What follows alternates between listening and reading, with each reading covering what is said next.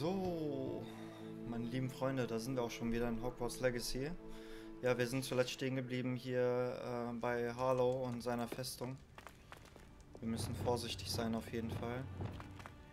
Revelio. Ich gehe jetzt einfach drauf los. Ich denke nicht, dass wir ihn erwischen werden. Vielleicht ein, zwei seiner Anhänger, aber wenn wir dann so weit sind, dass wir bei ihm sind, kommt höchstwahrscheinlich eine Cutscene. Ich glaube nicht, dass er einfach so zu besiegen ist. Revelio. Wir können natürlich hier weiter hoch, aber ich mache hier erstmal weiter.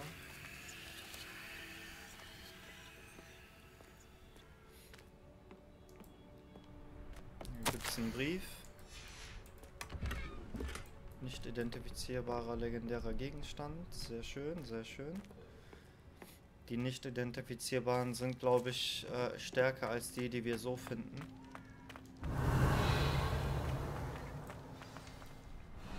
Da ist auch schon die Wolkenschwinger. Cutscene. Alles ist gut. Ganz ruhig.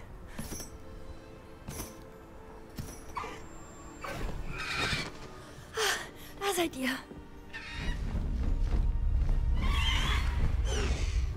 Komm schon. Alohomora. Mach schon.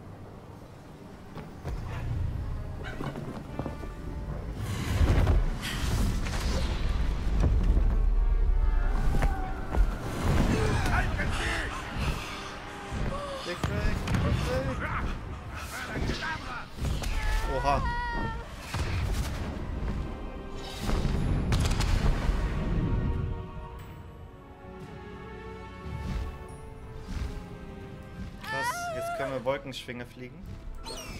Oh!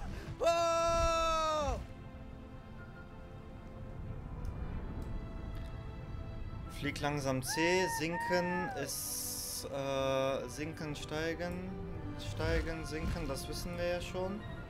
Und Da ist der Hogwarts. Express. Muss eine außerplanmäßige Fahrt sein.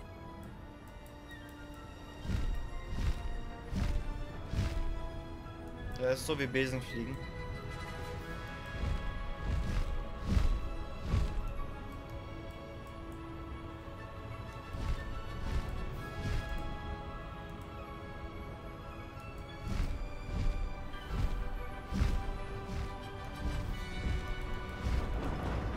Zur Station müssen wir auch noch, mal-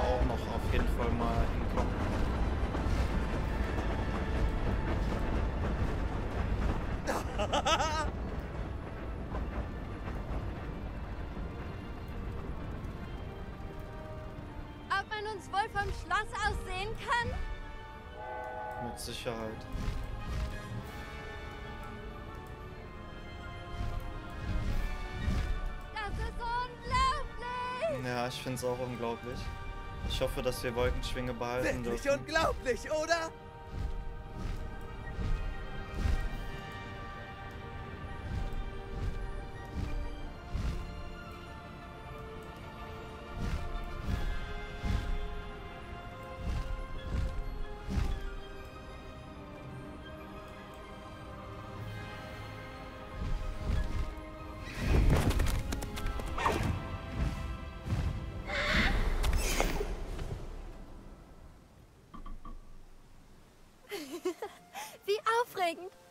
Unglaublich, oder? Ich war nicht sicher, ob wir lebend rauskommen würden. Alles lief glatt. Ich hatte alles unter Kontrolle. Hast du den Ja, Brief finden allem- können? Hab ihn Harlow einfach aus der Hand beschworen. Ich hätte nicht gedacht, dass er uns mit einem Todesflug belegen würde. Das wird er nicht vergessen. Sei auf der Hut. Natürlich. Was stand in dem Brief? Dass Rookwood einen Phönix sucht. Keine Ahnung, wo er einen finden will. Aber er enthielt auch Harlows Befehle, im Schloss nach den Wilderern zu suchen. Genug, um Harlow mit den Verbrechen in Verbindung zu bringen. Ich bringe den Brief zu Officer Singer. Sie muss etwas unternehmen, wenn sie ihn sieht. Und jetzt sag mir, wo du diesen Hippogreifen begegnet bist. Ich kannte nur Wolkenschwinge. Und zwar dank Poppy. Poppy Sweeting kennt einen Hippogreif? War ja klar. Poppy wird erleichtert sein, dass Wolkenschwinge sicher ist. Ich habe die richtige Person gefragt. Mutter wird sich Sorgen machen. Ich muss los. Komm bald zu mir. Ich habe viel zu erzählen.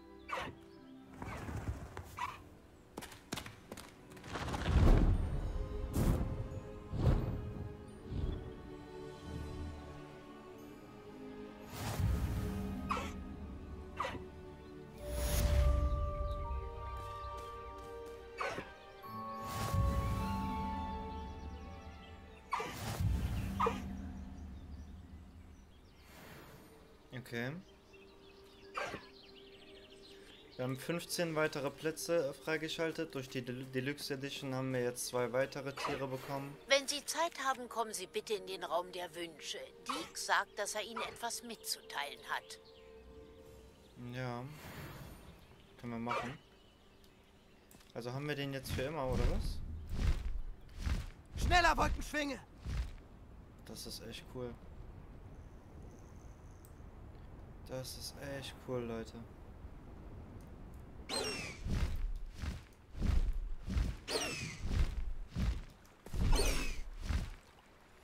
Ja, ähm, gucken wir mal. Wie können wir jetzt absteigen? Mit, mit B wahrscheinlich. Ah, okay, wir können den einfach äh, in, die, in die Tasche reintun. Und dann wieder beschwören. Okay, ich verstehe, ich verstehe. Hier ist ein Frosch, wenn ich mich nicht täusche. Accio! Protego! Confringo! Expelliarm! Defendo! Oh. Das hätten wir auch erledigt. Dann gehen wir mal zum Schloss zurück. Gucken wir mal nach Aufträgen.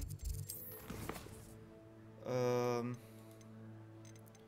Hausen, äh, sprich, mich, sprich mit Diek. Diek will im äh, Raum der Wünsche mit dir sprechen.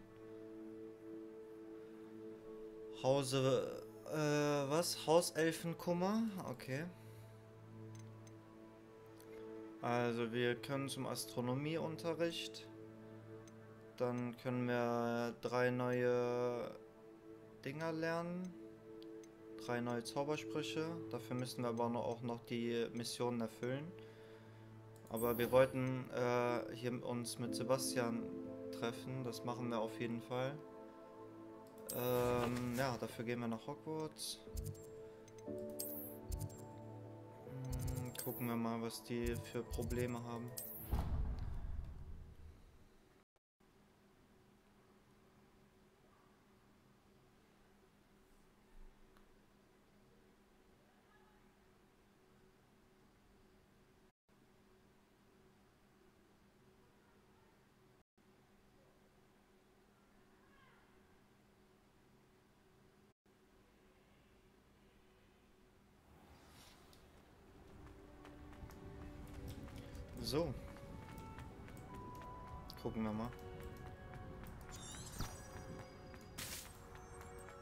Revelio!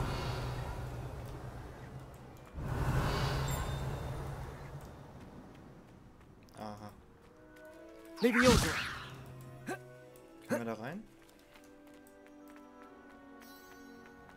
Nehmen wir das mal mit.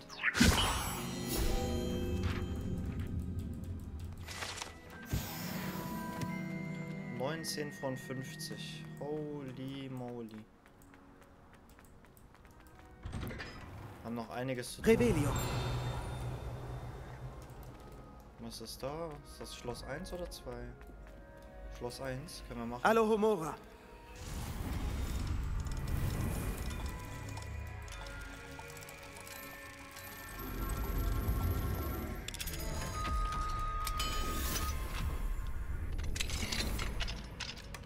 Revelio!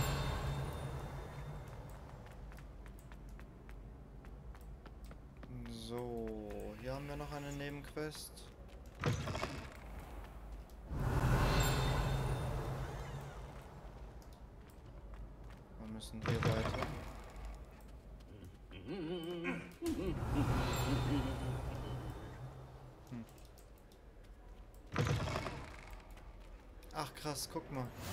Wieder Wir sind mal zum ersten Mal in der Haupthalle. Revelio.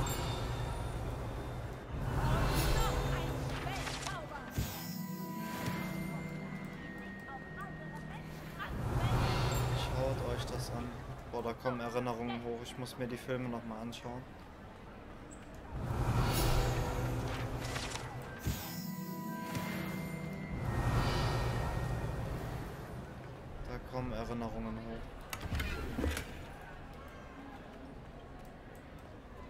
Revelio.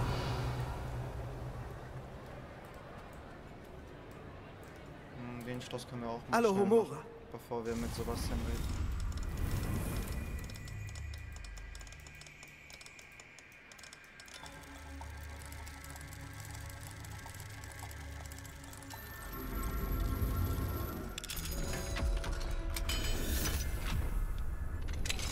Revelio. Was haben wir denn hier? Ein Demigeist. Wo? Na, können wir nur nachts aufmachen. Aber zumindest weiß ich dann, wo einer liegt. Die dunklen Künste sollten gemieden werden. Es ist zu riskant. Alles, was mit Salazar Slytherin zu tun hat, ist das Risiko wert. Ich bin anderer Meinung. Mehr sage ich nicht. Tut mir leid. Na dann. Ich gebe nicht auf. Worüber haben Ominous und du gesprochen? Er macht sich lächerlich. Offenbar hat Salazar Slytherin ein geheimes Skriptorium hier in Hogwarts. Ominous meint, es wurde für dunkle Künste genutzt, also hält er sich fern. Ich erinnerte ihn, dass Anne ein Heilmittel braucht. Das Skriptorium könnte die Antwort sein.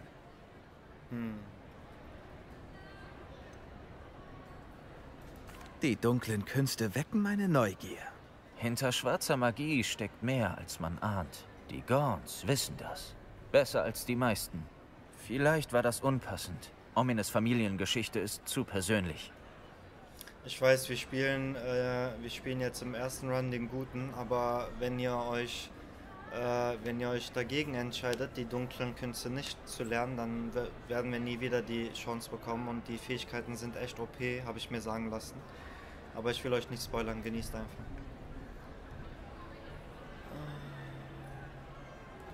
Ich möchte mehr darüber erfahren, wenn du es mir erzählen willst. Ich sage es auch nicht weiter. Also gut. Aber das bleibt unter uns. Ominous lernte die schwarze Magie von seinen Eltern. Sagt dir der Cruciatus-Fluch etwas? Crucio, richtig? Der Cruciatus-Fluch. Auch Folterfluch genannt. Er fügt dem Opfer unerträgliche Schmerzen zu. Seine Eltern und seine älteren Geschwister hatten keine Skrupel, aus Spaß Muggel damit zu quälen. Ominous beschrieb die Schreie der Opfer als entsetzlich. Als er als Kind zum ersten Mal den Zauber selbst ausführen sollte, brachte er es nicht über sich. Zur Strafe verzauberte seine Familie ihn damit. Die Qualen waren so groß, dass er bei der nächsten Aufforderung nachgab. Ich habe Ominous wiederholt versichert, dass er nicht anders konnte, aber er hat sich immer noch nicht verziehen.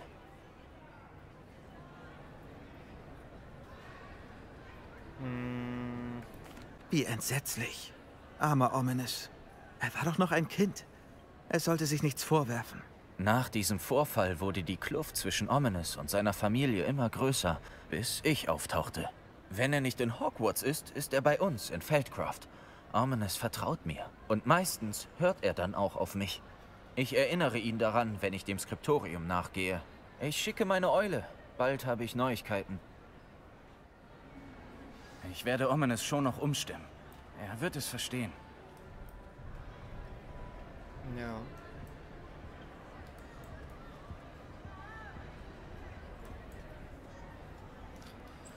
Das hätten wir dann schon mal. Ihr Handbuch ist ja wirklich praktisch. Ich freue mich darin vorzukommen. Kriegen wir keinen Quest abgeschlossen, nix? Okay. Also der wird sich anscheinend melden. Mit der Eule oder was auch immer. Äh, dann... Hm.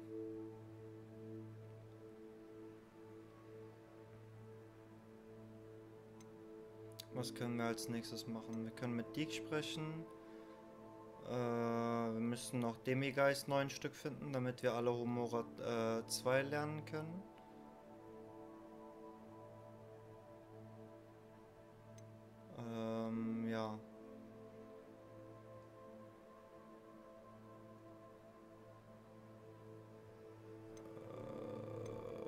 sollen wir als nächstes machen? Hm.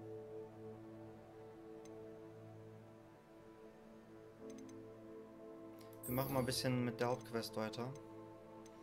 Die Nebenquest können wir ja auch danach machen. Wir machen die eine Hauptquest noch und danach machen wir in der nächsten Folge dann äh, die Nebenquests.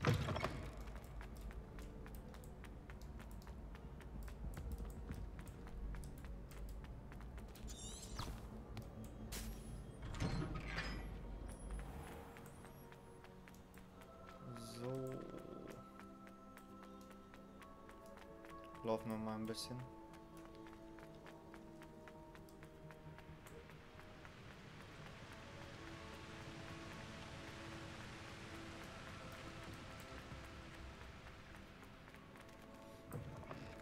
Schön, wie du einen Versuch wagst, auch wenn du am Ende Revelio.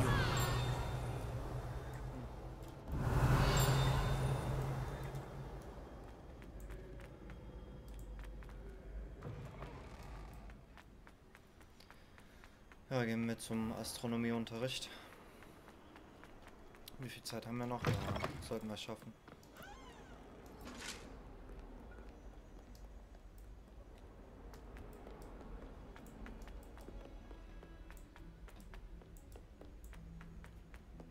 Hallo. Das Kannst du mir sollten helfen? wir schaffen. Wir könnten mal versuchen, hier die, Tour, äh, die Tür aufzumachen. Ähm, 0, 3, also fehlen 2. 1, 2. Und 4 und 1 sind 5, also fehlen 7. 1, 2, 3, 4, 5, 6, 7. Eine mehr? Hm. Vielleicht einer weniger? Warte, ne. Probieren wir mal 6. 1, 2, 3, 4, 5, 6. Auch nicht. Ich werde nicht schlau aus diesen Rätseln. Manchmal kriege ich es hin, manchmal nicht. Vielleicht hier einer mehr? Nein, dann würde das nicht stimmen. Zwei. Zwei, acht. Acht minus, äh, ja, müsste eigentlich sieben sein. Egal. Wir probieren es einfach so lange, bis es klappt. Aber nicht jetzt. Jetzt keine Zeit verlieren. Ich muss mir mal ein ausgiebiges Video darüber anschauen, wie das funktioniert. Weil selbst komme ich echt nicht drauf. Einmal habe ich es, glaube ich, geschafft. Wie schön Sie zu sehen. Ja. Vielleicht wird es ja jetzt im Unterricht erklärt.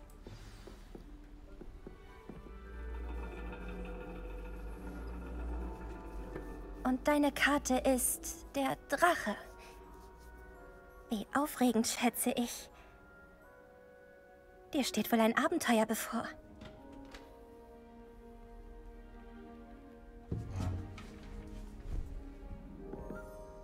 Meine Damen, Professor Shah! Astronomie ist kein Wahrsagen. Sie finden die Geheimnisse des Kosmos weder in Ihren Handflächen noch auf dem Boden von Teetassen. Leider bleibt den Blauäugigen der Himmel verborgen. Wenn Sie sich nun aber der beharrlichen und sorgfältigen Beobachtung widmen, erhaschen Sie vielleicht einen Blick. Nehmen Sie daher bitte Ihre Teleskope mit. Heute sind wir auf der Aussichtsplattform. Okay.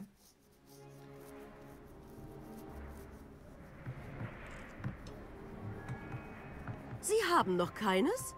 Sie können nicht für immer der Neue sein, ja? Teilen Sie mit Mr. Takar. Okay. Hier, ich kann das für dich Nein, einstellen. nein, stellen Sie es scharf. Selbstständig.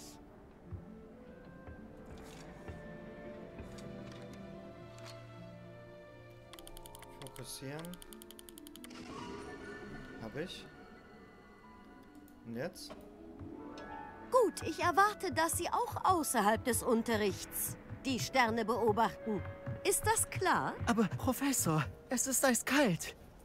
Kälte hielt die großen Sterngucker von damals auch nicht auf. Sehen Sie sich nur die Astronomiealtäre an, die sie im ganzen Hochland aufstellten, wo sie vor Jahrtausenden genau dieselben Sterne beobachteten. Ist das klar? Oh. Sie können gehen.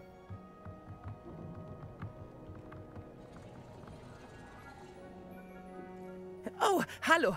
Ich bin Amit. Wir haben Zaubertränke zusammen. Glücklicherweise gab es in diesem Kurs noch keine Explosion. Oh, hallo Amit. Schön, dich wiederzusehen. Habe ich Professor Shah richtig verstanden? Du hast kein eigenes Teleskop? Äh, ich habe noch ein zweites, das ich dir leihen könnte.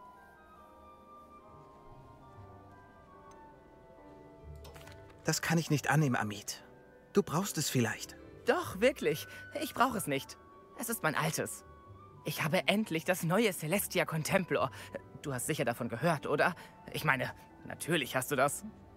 Es ist ja nur das absolut beste Teleskop, das man bekommen kann. Aber mein altes Modell ist auch nicht übel. Koboldglas, erstklassige optische Verzauberungen. So ein exzellentes Gerät sollte nicht als Staubfänger enden. Also ich... Danke, Amit. Gern geschehen. Das Teleskop steht im Lagerraum direkt unter uns. Nicht zu übersehen. Auf mich wartet unten... Äh, noch etwas zu lesen. Komm danach zu mir und bring das Teleskop mit. Ich möchte etwas mit dir besprechen. Hm. Okay. Ich habe die Sternenbeobachtung möglichst lang aufgeschoben. Incendio!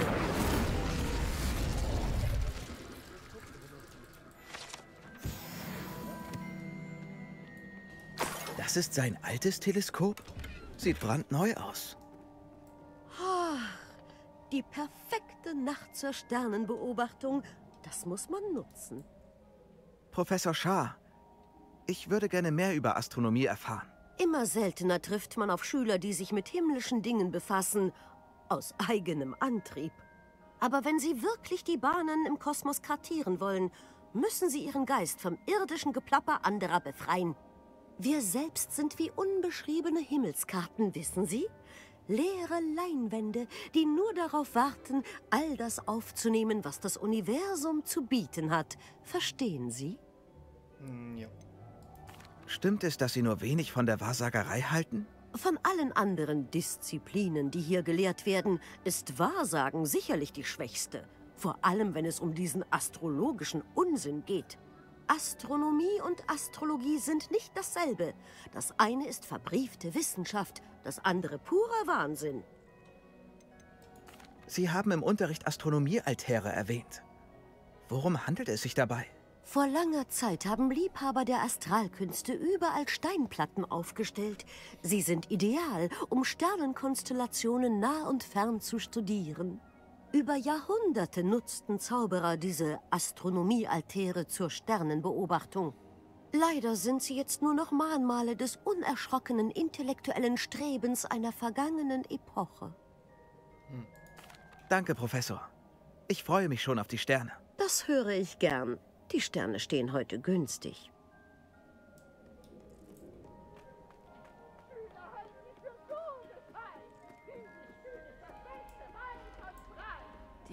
Perfekte Nacht für... Oh, hallo. Ich habe das Teleskop. Es ist schöner, als ich dachte. Einem angehenden Astronomiegenie würde ich doch kein drittklassiges Lunaskop anbieten. Aber, ähm, da ist noch etwas.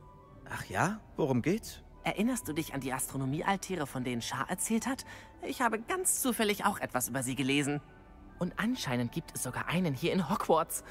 Ich glaube, damit könnten wir verborgene Sternbilder finden.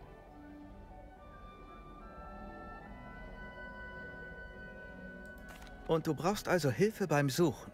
Ja, bist du dabei? Vom Koboldsteinclub will niemand mitkommen. Sie meinten, sie würden lieber von Steinen angespuckt werden als... Na, alles Feiglinge.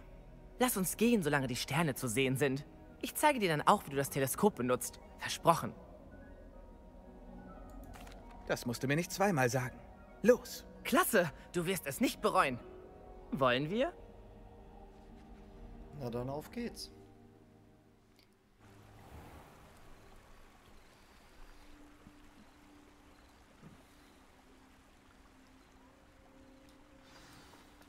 Der Altar ist an einer Schlossmauer da vorne. Suche nach einer Steinplattform. Etwas, was da nicht hingehört. Wir erkennen ihn schon, wenn wir ihn sehen. Dann mal los. Es heißt, die Standorte der Altäre wurden einst von Zentauren zur rituellen Sternbeobachtung markiert.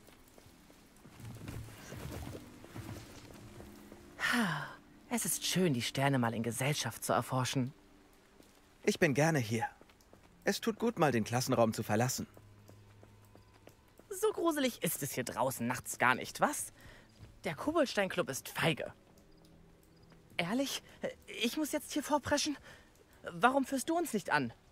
Wenn du willst.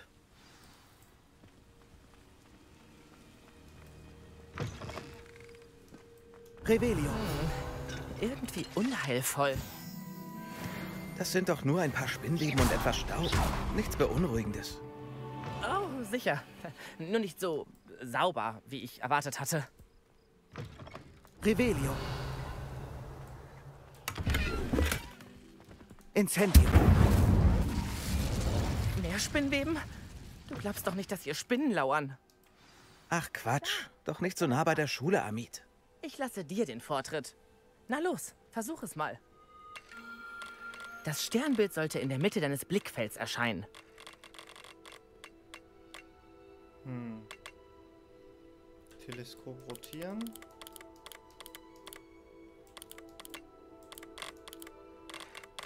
Sobald du das Teleskop ausgerichtet hast, können wir unsere Sternkarte ausfüllen.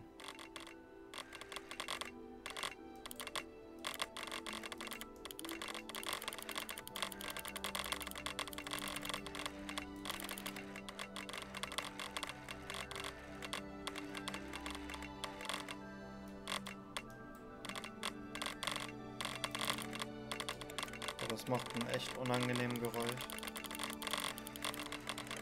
Beim Sterngucken geht es um Geduld und Präzision. Hm.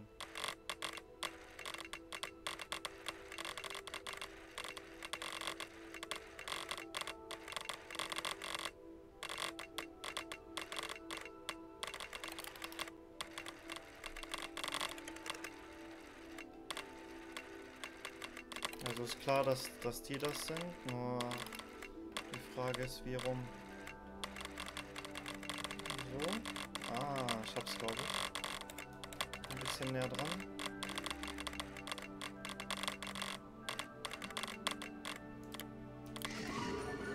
Aha.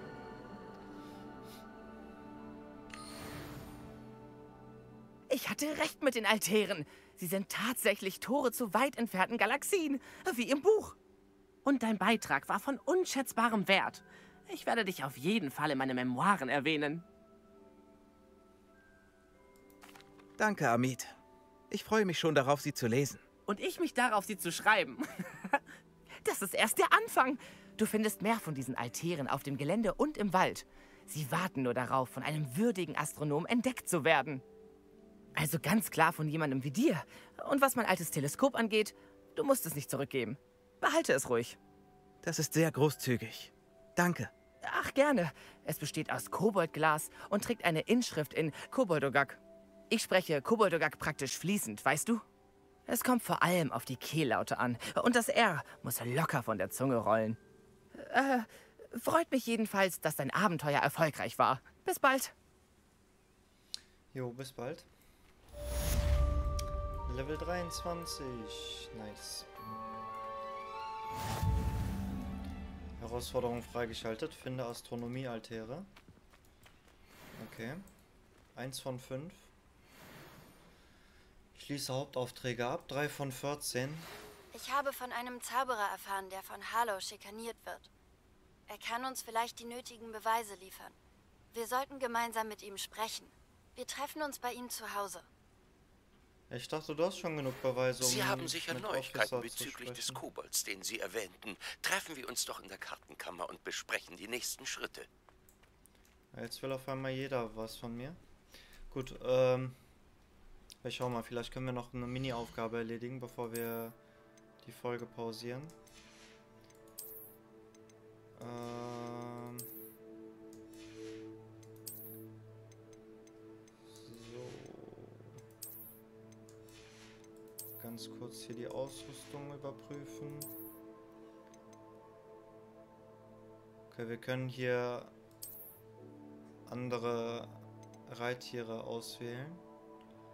Wolkenschwinge in schwarz oder Sepulchria. Die sind auch mega nice. Die können ja unsichtbar werden, habe ich gehört. Dann probieren wir mal die.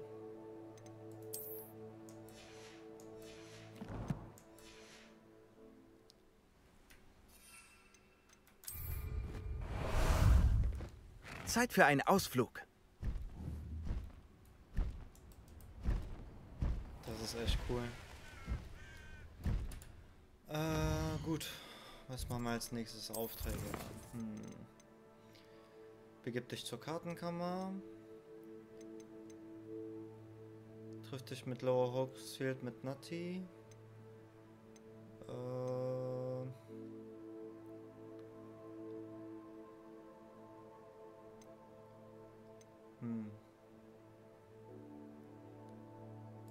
Würde sagen, wir sprechen mal mit Deke.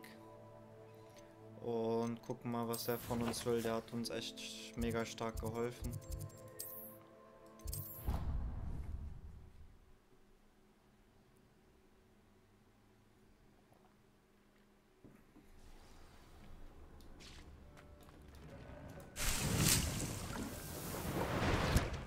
Ich würde gern mit Ihnen sprechen, wenn Sie kurz Zeit hätten. Ja, sprechen wir. Hallo, Deke. Professor Weasley sagte, du wolltest mir mehr über den Webstuhl erzählen.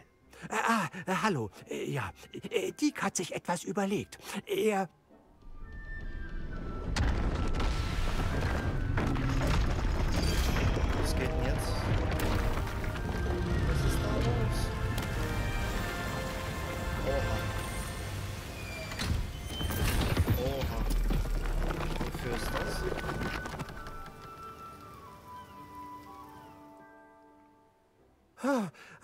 äh, offenbar denkt der Raum, Sie brauchen mehr Platz für Tierwesen. Ah, ja. Wie ja. Dick sagte, er hat da eine Idee.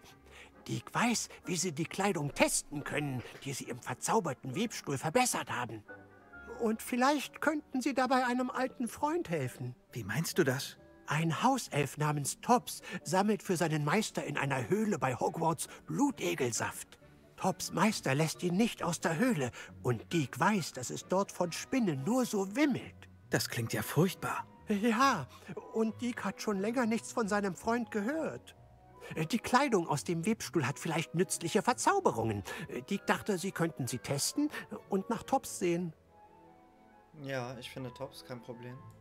Ich verstehe. Überlass das mir, Dick. Ich finde Tops für dich. Oh, danke.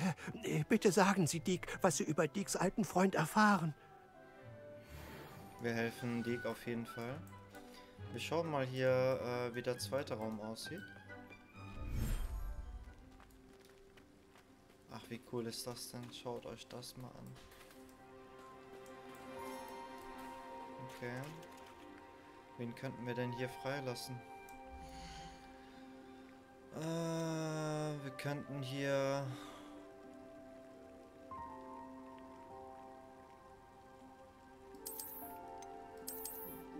könnten hier unsere zwei äh, Hippogreifs reintun. Niffler.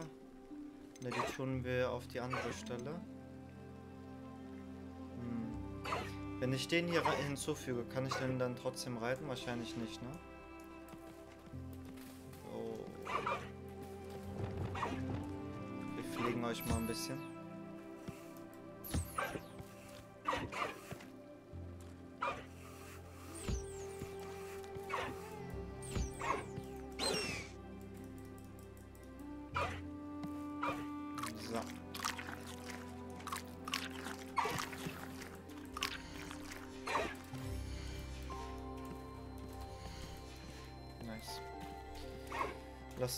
Gehen.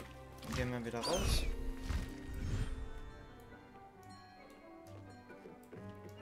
Dann gehen wir in den anderen Raum rein. Hier tun wir die... Wo sind die? Ah, hier. Hi. Äh, guck mal, ich habe euch von Freunde mitgebracht. Die können doch hier alle ihr Zuhause finden. So, die streicheln wir auch ein bisschen.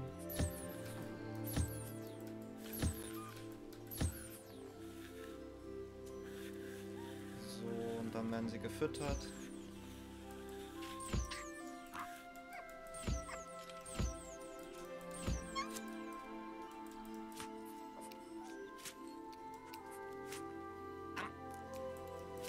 So. Jetzt könnt ihr zusammen spielen. Bye bye. So. Und in der nächsten Folge werden wir dann äh, Deke helfen, äh, seinen Freund zu finden. Ja, ich hoffe, es hat euch Spaß gemacht und wir sehen uns. Haut rein.